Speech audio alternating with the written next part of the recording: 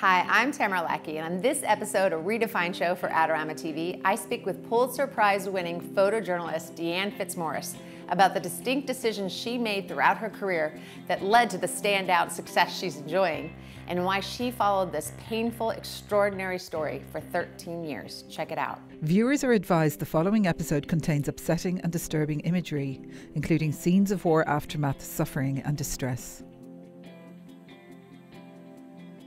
Hello, how are you? Good. How are you doing? Good. Thank you for taking the time um, to join me in this 3D room. I love it. There's, do you see all the way back there? It's great. I like the way you're resourceful with Thank your you. studio Thank setup. you. We try. Um, so I'd love to talk to you about your extraordinary career, um, specifically some of the projects that you are so passionate about and that you've worked on much longer term than most people would expect. Um, would you like to share some of that? Yes. Um, so it's a story I started in 2003.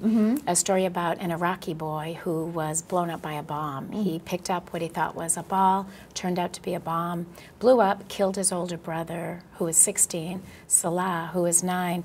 Um, his hands were blown off, and he lost an eye. His abdomen was blown open, and his father refused to let him die mm. and brought him to an Iraqi hospital. And they said, We can stabilize him, but we can't save him. Your only hope is to go to the Americans. Through this incredible circumstance, they were able to bring him to America, military transport, and that's where I picked up the story in a California hospital. When you say you picked up the story, Yep. So I was a staff photographer at the San Francisco Chronicle at the time, and my editors came back and said, "Hey, Deanne, we have a story. We want you to go out and photograph this Iraqi boy." And I thought it was going to be a one-day story. Yeah. Here I am, 13 years Yeah. later, yes. still following the story. So I just started documenting his recovery. We thought he would return to Iraq, but it was unsafe to return mm. because insurgents had ransacked the family home thinking that his dad was an American spy, and that's why he had been given treatment in America.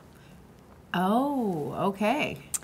So they weren't able to return. Right. They settled in America, they were granted asylum, and then they brought the family over. Wow. And what kept you returning to the story? Oh boy. Well, I had originally documented the story. Originally, it was going to be one day. Mm-hmm. Then it was going to be six weeks because we thought he was going to be at this hospital in Oakland for six weeks until he was, um, you know, well enough to go back to Iraq. Right. But then that changed, and so I continued following as they adjusted to life in America. I ended up going to Iraq to come back with the family for the reunion. Wow. So at first, I was just documenting it. It was a story for the paper, and Right. it came out as a three-part series, and then that helped them gain asylum. And then the project was awarded the Pulitzer for the photography in 2005. And I, and at that point, I mean, that could have been an ending point for me, Right. but I just have not been able to shake the story. I can't let it go. Saleh is such an incredible person. He's got a great heart. He, and I think that's why he was saved. They named him, nicknamed him Lionheart because he refused to die. Brilliant. So um, he's just got this great heart, cares about everyone around him, and you know, um, cares so much about his family and his siblings. And so I've just wanted to document his journey. Um, one of the big reasons is because it was a story about war that we weren't seeing. Right. And the impact of following the story for 13 years has so much power watching him grow up. He was nine when I started, he's. Right. 22 now. Crazy. And That's a so- dramatic shift. it is, It is, Mm-hmm. And so I think it resonates a lot now on so many levels. You know, we think about the Syrian refugees escaping war and coming to America. And so it's really a story of war, it's a story of survival. And And the innocent that are dragged through it. yes, Yeah. exactly. And and we were talking the other um, uh, the other night at the um, Jay Maisel Yes. uh, retrospective Yeah. about um, how one of the things that you have to struggle with is the code of photojournalism and your Yeah. own desire to make to help to step in and help. exactly. And that's been a difficult thing as a photojournalist because we are taught you're an objective observer. Don't get involved. Don't change the situation. Um, you know, and it's about credibility, and it makes sense. Yeah. But after working on a story like this for so long, there are so many things that happen along the way where you want to get involved and you want to help. You want to. I mean, there are times when Saleh's on the ground sobbing, mm. and you know you want to hug him, but as a photojournalist, you need to stand back and capture that moment right. so that it can have further impact.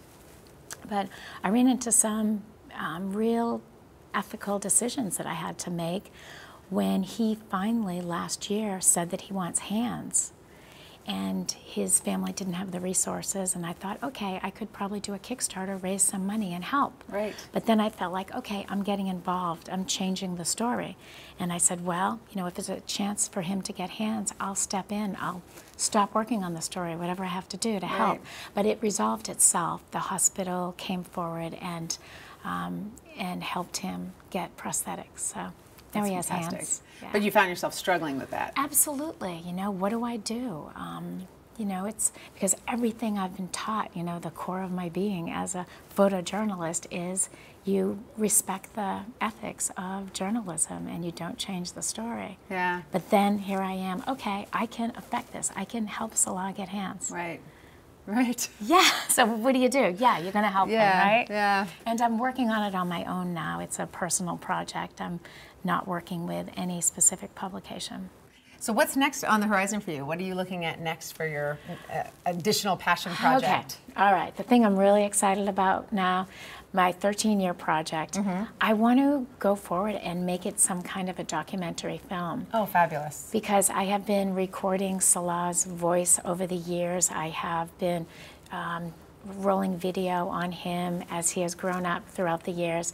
And I want to continue with that, interviewing Saleh and his dad and his doctors, and just put it together in some kind of a documentary film. And it's so, um, uh, sadly, it's never not been timely, but it's so timely right now yeah. in terms of, you know, not just that conflict, but all the yeah. all the new conflict that exactly. that is you know registering in the world right, too. Right, and just to humanize this yes. this family who yeah. has been so impacted, their life was kind of blown apart. Yeah. That's and, amazing. Yeah. That would be very cool. Yeah, so that's what I'm excited about now, but it's a daunting task and yeah. a big project to take on. And, and so, again, what you're going to do is do it yourself. Yeah? I think so. You know, um, I've I'm sure you'll have about, people want to jump on board, but yeah, yeah. You know, and um, sometimes it's really great if you can bring on an editor who's really experienced in this type of thing. Right.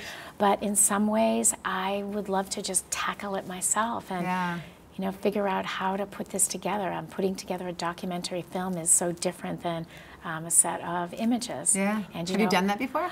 A little bit, yeah, yeah. Okay. I have done some. Okay. Um, I went, I worked with MediaStorm on a project in 2010, and um, yeah, so there's some great editors that are really experienced in this type of thing and understand the nuances of, you know, just when do you reveal what right. when you're putting right. together yeah. a documentary yeah. film. Creating, and it's, it's different. Yep. It's a different way of thinking than still images. Yeah, and then what do you think you'll do with it once it's produced? What I would like to do is I would just like to get the story out there. I would like to see as many people as possible see it and be impacted by it and care about it, care yeah. about Saleh and his family, and think about war and, you know, what are we doing? What are we doing? Yeah. Yeah, exactly. Right? Well, where can people go to find out more about you? Um, let's see, I'm on Instagram, Deanne Fitzmaurice, um, Twitter, Deanne underscore Fitz. Um, I'm on Facebook, um, my website, we have um, a think tank.